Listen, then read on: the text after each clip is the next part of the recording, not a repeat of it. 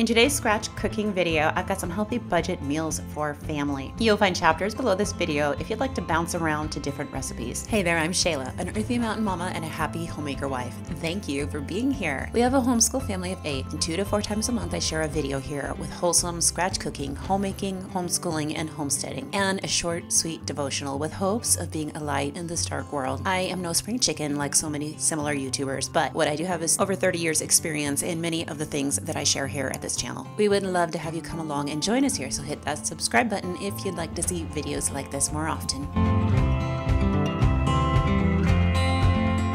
Sometime around November last year, my husband found a good deal on some turkey breasts. So I started thinking of what I could do with them that was creative, and I decided to try hot turkey sandwiches. I want the turkey breast to have a smoky flavor, so I've got some smoked applewood sea salt here, and I've got a little bit of Wright's liquid smoke seasoning as well. Turkey is one of those foods that's usually pretty affordable, but if it's not cooked right, it's not that good. And of course, with a turkey breast, it can dry out very quickly. I am taking the sea salt, that Applewood smoked sea salt, and some poultry seasoning, and I am putting it underneath the skin or between the skin and the meat. This helps to season the meat more deeply. I've got some cloves of garlic I'm going to slice and slip in here, and then I'm going to cover it with parchment paper, including the lid. So I, I want this thing to stay extra, extra moist. That's why I'm putting the parchment paper over the top to help hold in some more of that moisture and my lid doesn't fit on here, so I'm gonna have to use some foil to top it with. Next, I'm gonna slow roast this thing in my wood cook stove. This thing is airtight. It makes the absolute most moist and wonderful meats so this turkey is going to roast at about 200 degrees and over here I'm going to start another dish. I am going to make some chicken pot pies. These are going to be roasted in the wood cook stove as well. I am putting a nice sear all over the outside of this chicken. This is a little trick that worked really well. I'll be doing it again. It definitely helped to seal in more moisture in the chicken. I'm keeping the seasonings traditional and super basic. This is poultry seasoning. I've also got some celery tops that I dehydrated from our garden last year. These are so full of flavor and so good. And parsley salt. This is also from our garden.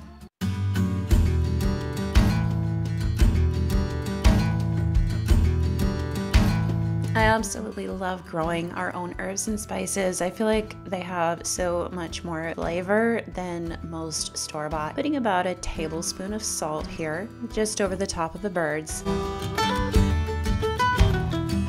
I did not show it, but I did put a quart of chicken broth in here as well. It's time to cover these and pop them in the wood cook stove. They're gonna roast at about 200 degrees or a few hours or until they're falling apart.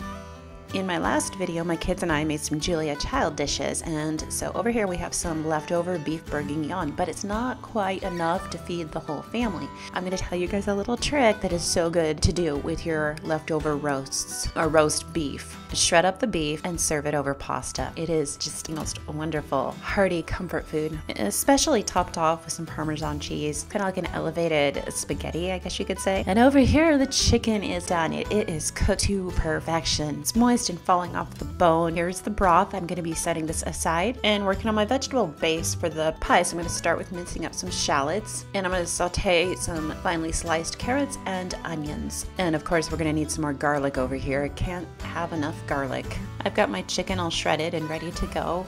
I'm adding some dehydrated onion tops from my garden last year to the vegetable base. These add so much flavor to pretty much everything. and here I have dehydrated celery, um, again, also from the garden. I have so much trouble finding dehydrated organic celery, so I gave up looking for it and I started growing and dehydrating my own. Part of the reason I did that is because when I buy celery, I'll use a couple stalks, but then the rest always goes bad before I can use it.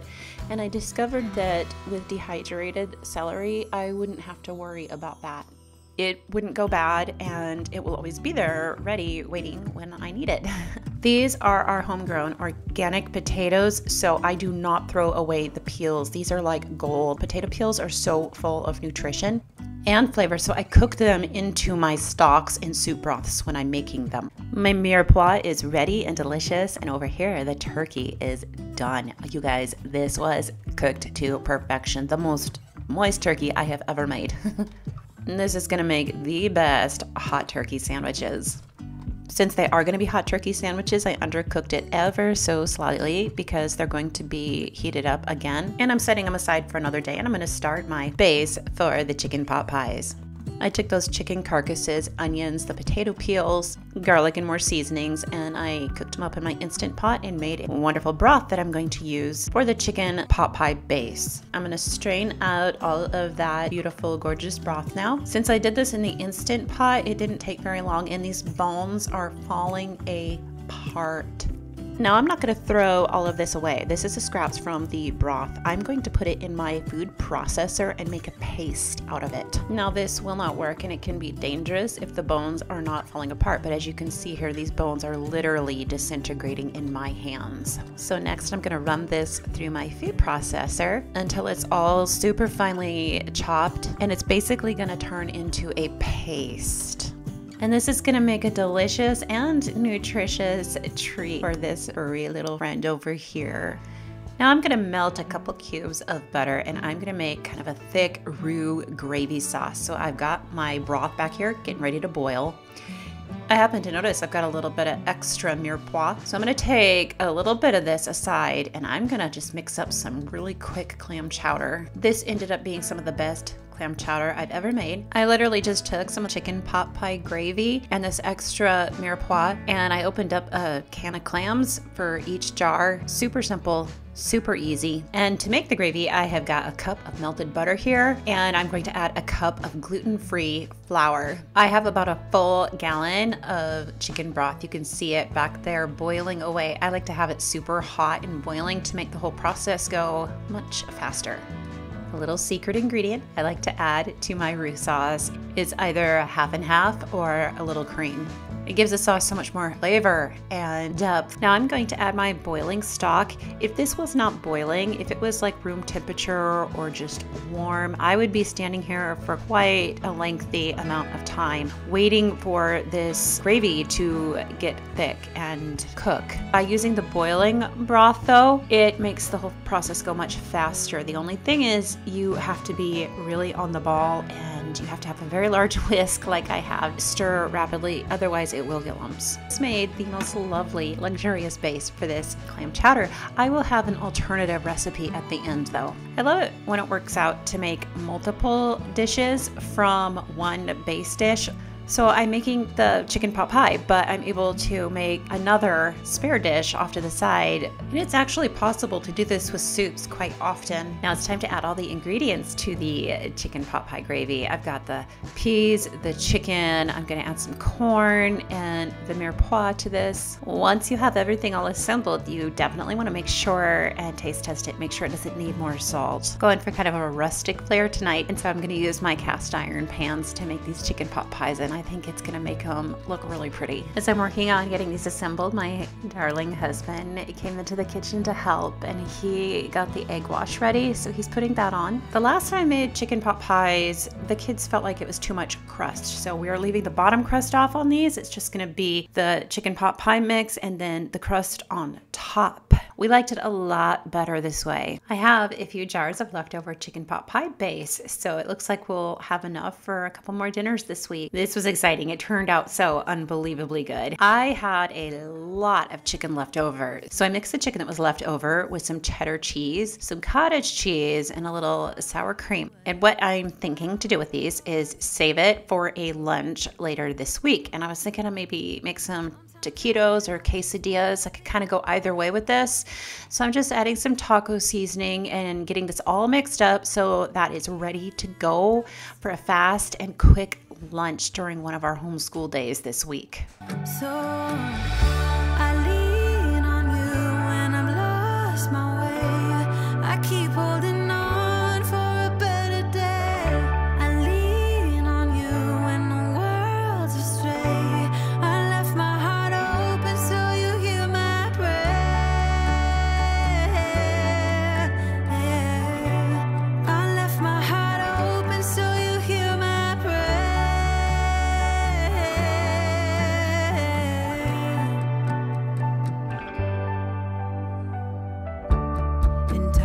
I am so blessed with some older kids, and they usually take care of breakfast. So I get a break in the mornings. And it looks like this morning they decided to make some French toast. Mmm, good.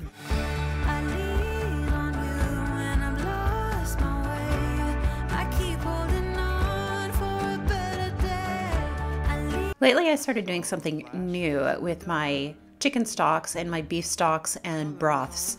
I started saving all of the organic onion peels to put in the broth while it's cooking, and it adds so much color and another layer of flavor to the broths. I wouldn't do this if I was not using organic onions. So all of these peels or onion skins would be thrown in the trash and wasted since you can't actually eat them. But this is a really good way to use them up and reduce waste and make your broth for soups more delicious and nutritious. With the love divine, shine, shine,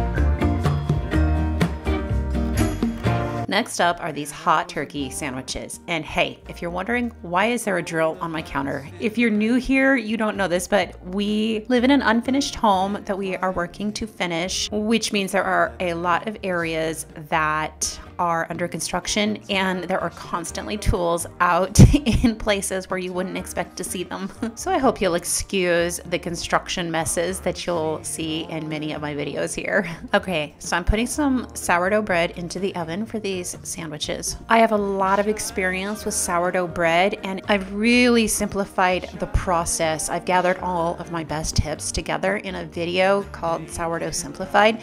I'll link to it below for you. Our family used to have some issues issues with wheat, and I'm not really supposed to have it at all. But with sourdough, it's different. We can tolerate this, and it's so healthy and doesn't affect our digestive systems negatively. Plus, I save around $200 a month by making our own bread. So for these sandwiches, I have some provolone and some Munster cheese. I've got some roasted red peppers that I harvested from our garden last fall, and I froze them, and I think they'd be a really good addition on this. We're gonna completely douse these things with some pepperoncinis. You could use mayonnaise on these, but I used hot turkey gravy. These are wonderful toasted or untoasted, either way, whichever you prefer. Sweet onions or red onions really set this sandwich off as well. I can see the glow from a love divine. Shine, shine. shine.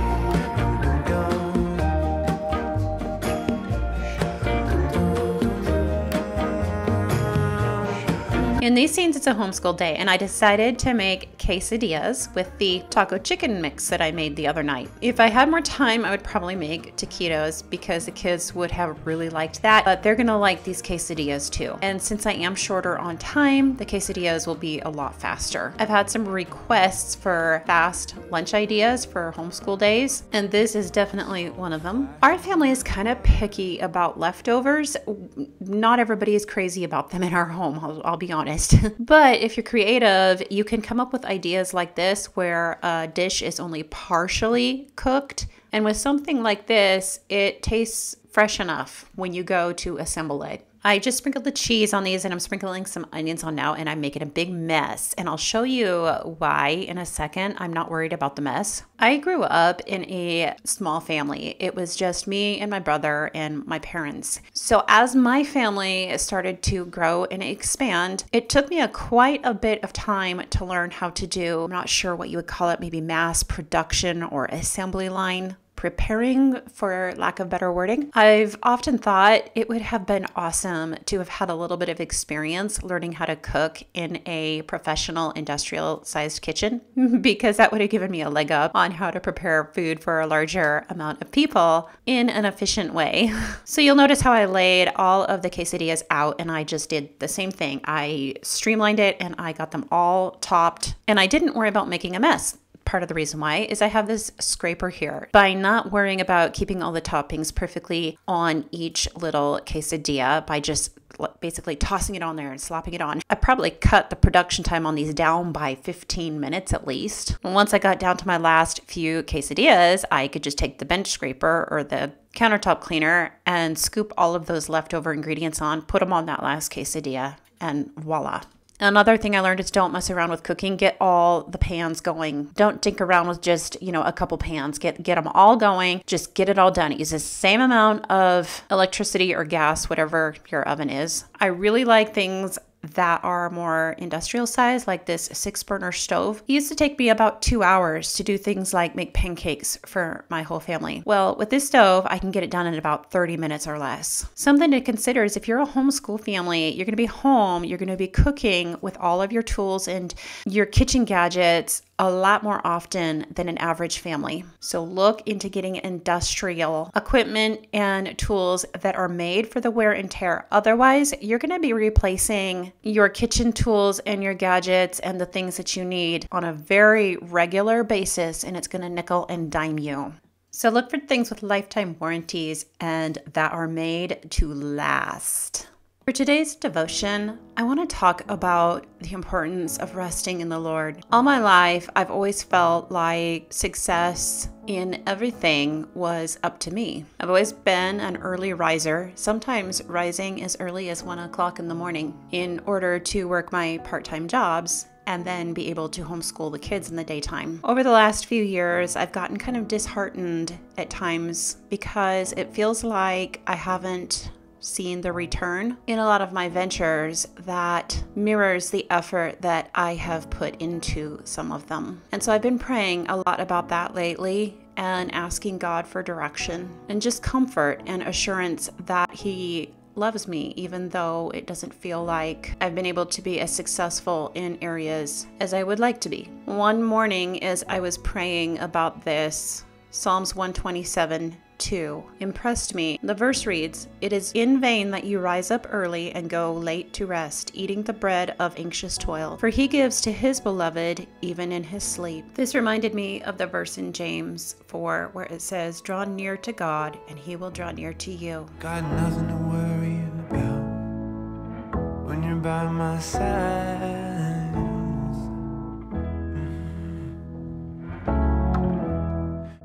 This morning, I slept in. I turned 40 a few years back, and once I turned 40, it was almost like a light switch went off and everything changed. I've always been an early riser, and I believe that it's a good practice to get up early when you're a homemaker and homeschooling. However, I believe in balance, and I think it's what is most important is that you really listen to your body. If you're in a season where you have sleepless nights with babies, or if you're in like the season I'm in, where your body is telling you to slow down and you're having health issues, you need more sleep. So it's really important to listen to your body, and if you need extra sleep in the morning, don't worry so much about following some strict rule and get up early every morning. So when I get up later, I get up and then I usually do my devotions at around one o'clock. And I mean one o'clock in the afternoon. But obviously this morning I didn't have time to do my makeup or my hair. which is okay. It happens sometimes. In fact, when it comes to makeup, I usually don't wear makeup. I usually just try to emphasize a really good skincare routine. So I do my skincare routine in the morning and every night I try to. I found though that if you take really good care of your skin, you don't need to wear as much makeup. For those of you out there that make your own bread, I know you're going to appreciate this. I found a dough washcloth. It works really well for cleaning up the sticky bread dough. These things do a fantastic job of washing off dough and sticky flour from surfaces. And the best part about it is that it's easy to wash the dough out of the washcloth when you're done. But they don't just work great for cleaning up sticky dough, they work great for all kinds of things. I love these washcloths because they're a lot more sanitary than um, you know, a traditional regular washcloth. We're still enjoying and have so many delicious potatoes from last year's garden that we have been eating. And so I've been trying to think of new creative recipes, and I found a, quite a few fun potato recipes in Julia Child's cookbooks. So for this recipe, I've got about three pounds of potatoes and I have diced them up. I'm going to simmer them just for a few minutes in this broth, just to get them tender. I'm not gonna cook them all the way. Once they're tender and have cooked for about 10 minutes, I'm going to take them out and then I'm going to use the broth to make a sauce. One of the things I love most about French cooking is the sauces. I absolutely love sauce on pretty much everything.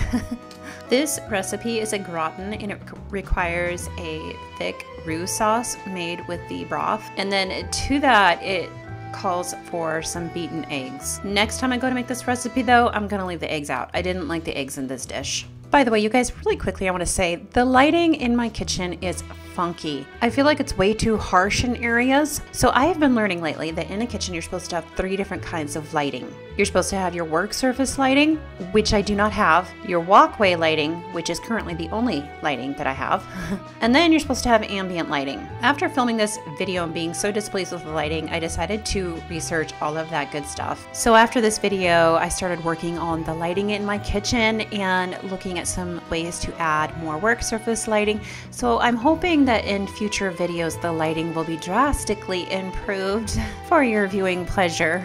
This whisk might look like overkill to most people out there, but the thing is, is that if you do a lot of cooking, or if you're a large family and of course do a lot of cooking, this is actually one of the most wise investments I think I've made in quite some time. I have been through so many whisks just this week in one of the clips, one of the whisks that I bought that came highly rated on Amazon. A lot of people loved it. The whisk was supposed to be really good and last a long time. And I'm sure like for use in like regular use, regular household use for, you know, smaller families that make far smaller quantities of food at a time and maybe don't make as much food might be great, but industrial.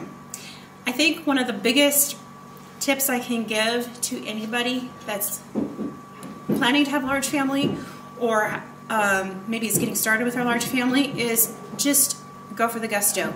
Get the industrial sized. You will replace it like 20 times over if you go for the cheaper stuff, but if you get something that is made to last or at least made to like deal with a lot of wear and tear, like industrials, sized equipment and industrial equipment, um, it might last you and you might not have to replace it. I'm hoping I never have to replace this thing. I probably will because I use whisks all the time and I'm pretty hard on whisks. But I've been finding that the industrial items like this, and then I've got a huge ladle too that I think I also used this week, um, just so valuable in a large family mama's kitchen or a kitchen where person does a lot of cooking industrial size. I'm making a Julia Child recipe tonight and I'm timesing it by three. So I'll put it into two, two dishes over here. One dish will be for us for tonight. The other dish will be for us tomorrow night. I never like to make just one meal at a time. If I can make something and make like two or three, that's always a win situation because it means less I have to do tomorrow or the next day. Did I just put six in here or five? I was six. My oldest son just came in and told me I used the wrong eggs in the dish. There were older eggs I was supposed to have used. Never thought I would get in trouble with my kid in the kitchen cooking. Okay, it says to drop the potatoes in boiling salted water. I did that, only I used broth. Cook for six to eight minutes until barely done. Did that. Uh, I'm supposed to cook the onions slowly in butter. I didn't do that, so I gotta do that. I've got everything else ready. I'm making, it's called uh, gratin de pommes de terre, terre, terre, terre, terre, ox and chills, and chills, and chills.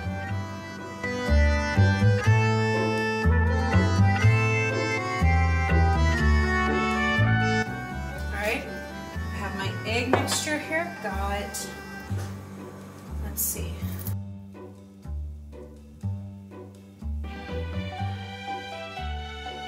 Okay, so the recipe says I'm supposed to put half the potatoes down, then half the onions, then lay the anchovy fillets on the top, and the rest of the onions, and finally the remaining potatoes, and then pour the eggs and cream or the bechamel sauce over the potatoes and shake the dish to send the liquid to the bottom think I'll just layer the bechamel with, with the potatoes and everything.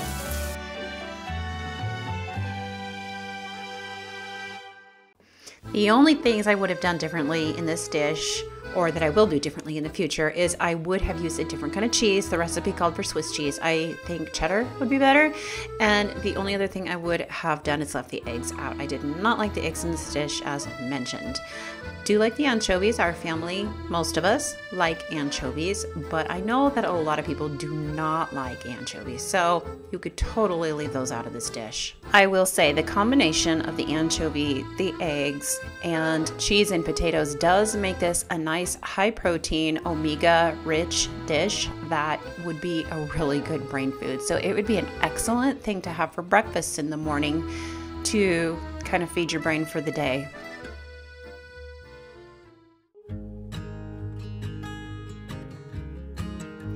My husband loves soups for his lunches, especially this time of year when it's chilly outside. So to finish off this video, I am going to make one of his new favorites. It's a clam chowder. About a week and a half ago, I was making some other recipes and I don't even remember what I was making anymore. But I realized I had some extra ingredients and then I realized that if I mixed those extra ingredients with just a few other extra ingredients that I would have a really nice soup for my husband. Well, we took a bite of this whimsical soup that was kind of off the cuff and it was such a hit. So today I'm going to make more of it. We're going to start out with three or four very large carrots and I'm going to slice them super thin like you see here.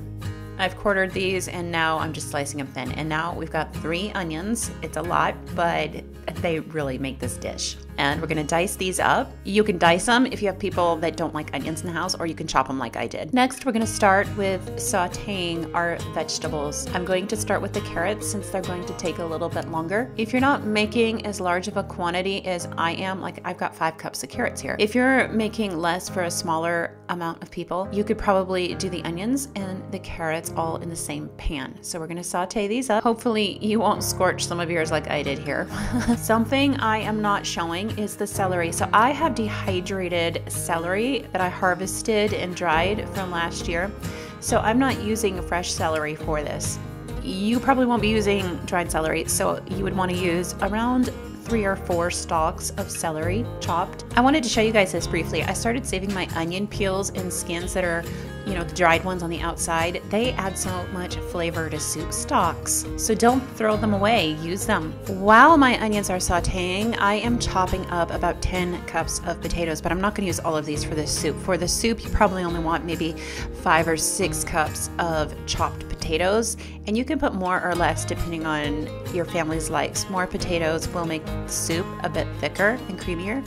I am using two different kinds. I want some russets to add some nice creaminess, and then I want the red potatoes because they're gonna hold a little bit more of their form. And I do want some chunks of potatoes, but I also want the creaminess from the russets to thicken the soup. Over here, I've got some helpers. I have been trying to teach my four oldest kids how to cook more dishes lately. These boys here, I've been working on teaching them how to make soups. Normally, since our wood cook stove is going, I would cook these over on that, but today I'm in a hurry and I do need these done more quickly. So I'm going to do them in the Instant Pot. I've got some celery salt here, and I'm also going to add a few more celery tops that I dehydrated. Next, I have got green onions. These are just regular green onion tops to add a little bit more of the onion flavor because it just really makes the soup, I feel like. I've got a tablespoon of salt I'm adding, and then garlic. I only have one clove here, but I do recommend putting in more cloves of garlic if you love garlic. I'm going to add just enough water to barely cover these because I don't want too much water in them. And I'm going to instant pot them for about 12 minutes. My carrots and onions are all finished, and if we look inside the pan, we're going to see some brown bits. Apparently, this is called fond in French. This is what gives us that nice, deep, rich flavor to soups. I'm going to be adding about a gallon of chicken broth to this pan, and I'm going to deglaze and get all that fond off the bottom of the pan. I like to add a few bay leaves to pretty much every soup I make. At this stage of the soup, there are a couple different directions you could go. You could make a roux and just simply add your broth to that, or you could do it this way. And this is the way I'm doing it today. So I've got about one and three quarters cup of gluten-free flour here and I'm mixing it into almost two cups of water. And this is what I'm going to give the soup a little extra creaminess with. Next, I'm going to add about one and one third cup of milk powder. My broth is boiling and so I'm just whisking the milk powder into the broth. You could add milk if you prefer. You want to whisk this until the milk powder has disintegrated into the broth and you can't see any lumps. Once this has come to a rolling boil, we can add our flour and water mixture. You don't want to stop stirring after you add the flour and water mixture because this will get lumps that you will not be able to get out if you do. So you want to keep stirring this until it comes to a rolling boil again.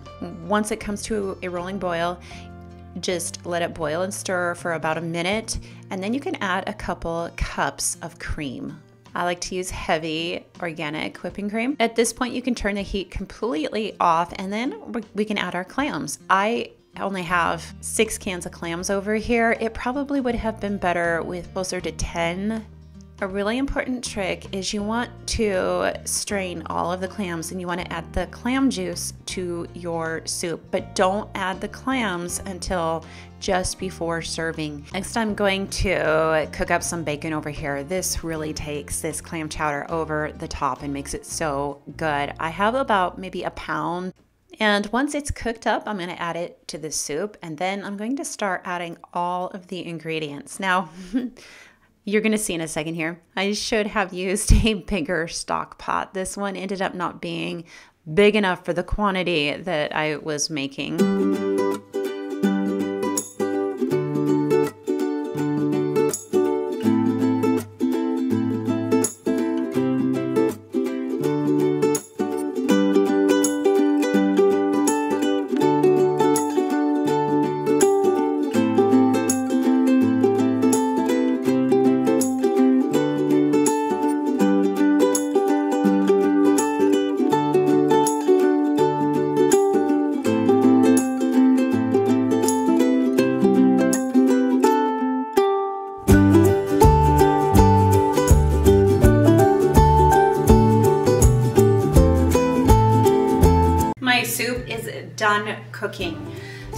This point, I can add the clams. I don't wanna add the clams until the soup, or you don't wanna add the clams until the soup is entirely done cooking because if you cook it very long after you add the clams, the clams will get even more tough since they're already canned.